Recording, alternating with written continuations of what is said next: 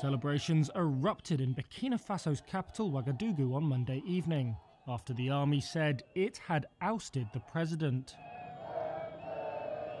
That announcement on state television also said that Roch Kabore's government had been dissolved, the constitution suspended, and the West African country's borders closed.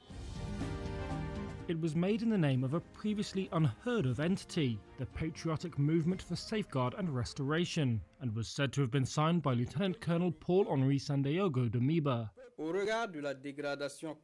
The statement cited the deterioration of the security situation and what the army described as Kabore's inability to unite the country.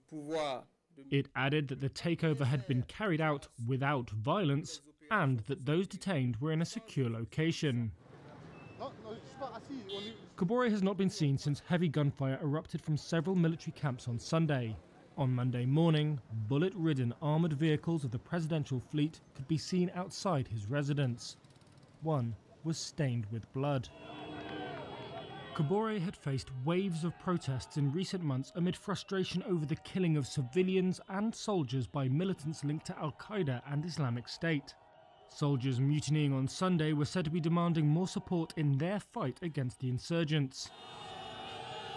As the sun set on Ouagadougou's Place de la Nation, Resident Mahmadi Ouedraogo claimed that most people support the military and were relieved that Kabore was no longer president. UN Secretary General Antonio Guterres, the African Union, and West African bloc ECOWAS have all condemned the move by the military and urged it to ensure Kabore's safety.